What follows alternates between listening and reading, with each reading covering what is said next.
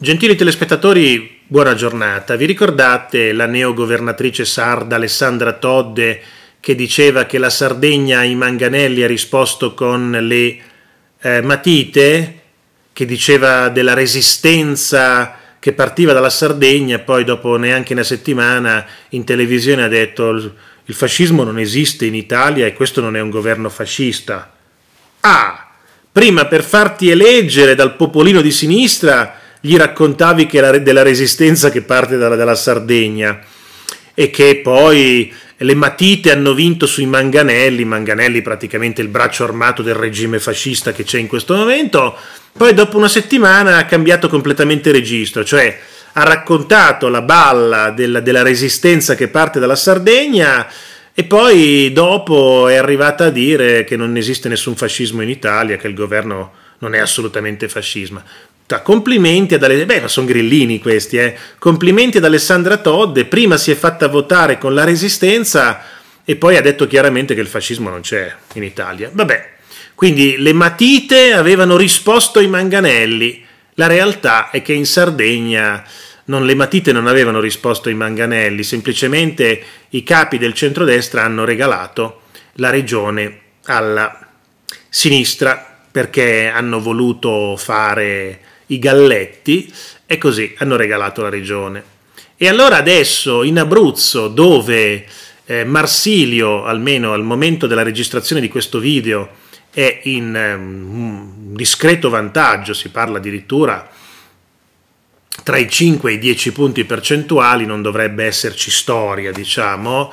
E allora in questo caso cos'è? I manganelli hanno vinto sulle matite? Se in Sardegna le matite hanno vinto sui manganelli, in Abruzzo i manganelli hanno vinto sulle matite?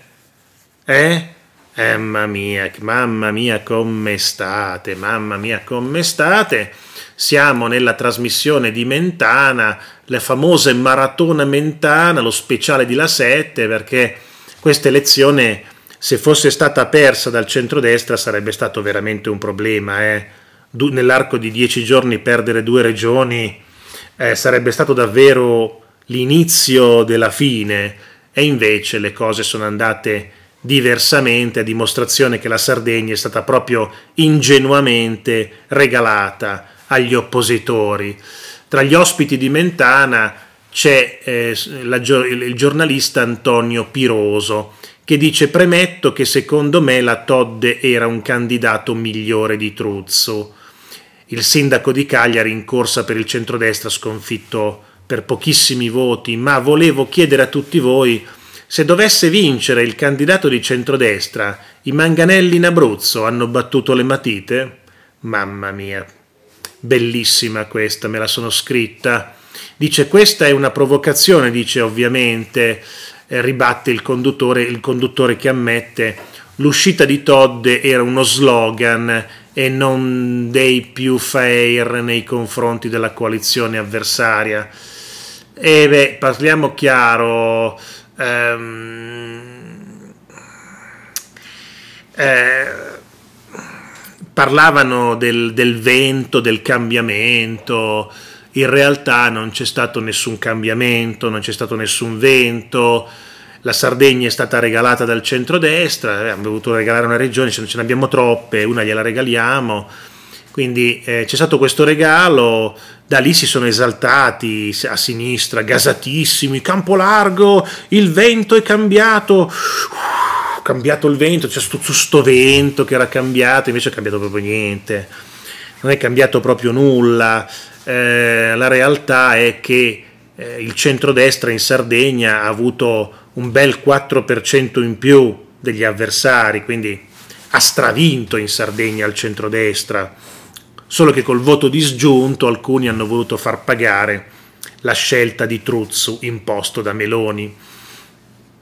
Qui in Abruzzo non c'è il, il voto disgiunto, quindi se tu vuoi far pagare alla centrodestra qualcosa e sei un elettore di centrodestra, devi votare per forza un partito di sinistra, perché non essendoci il voto disgiunto non puoi pagare per, non puoi da una parte votare per un partito di centrodestra e dall'altra parte votare un altro candidato. Pertanto è, se voti destra è candidato di destra, se voti sinistra è candidato di sinistra e pertanto eh, se non succedono cose incredibili e fantascientifiche, ormai la regione Abruzzo è stata confermata al centrodestra e con un vantaggio credo anche decisamente significativo.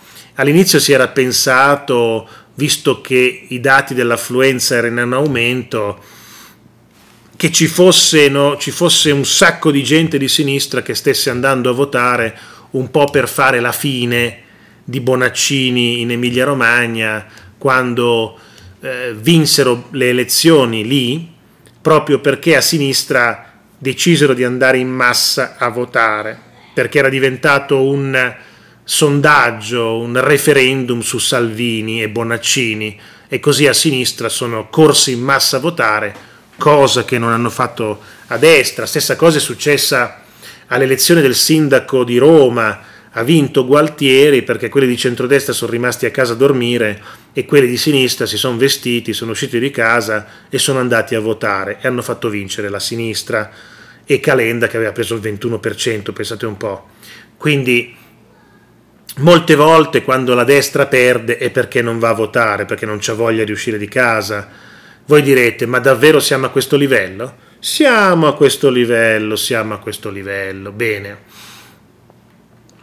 Quindi l'Abruzzo oggi spegne completamente quello che è, eh, diciamo così, i sogni di gloria di questo famoso, non campo largo, ma campo larghissimo, dove al suo interno c'era anche nascosto Renzi con, eh, al posto che Italia Viva l'ha cambiato in Abruzzo Vivo, quindi pensava che nessuno se ne accorgesse, ma, infa- ma poi se ne sono accorti ovviamente, se ne sono accorti ovviamente tutti che lì dentro nella coalizione c'era anche Abruzzo Vivo, dice ma cos'è una roba della pesca, Abruzzo Vivo, ma cos'è? Una pizza? E era lui nascosto, al posto che Italia Viva, Abruzzo Vivo, ah, terribile, eh? nome orripilante, Abruzzo Vivo, sembra quasi una roba tipo resuscitato, tenuto in vita, Abruzzo vivo, mamma mia. Forse era meglio viva l'Abruzzo più che Abruzzo vivo, no? Ecco, tipo, tipo Forza Italia, Italia Forza, va bene.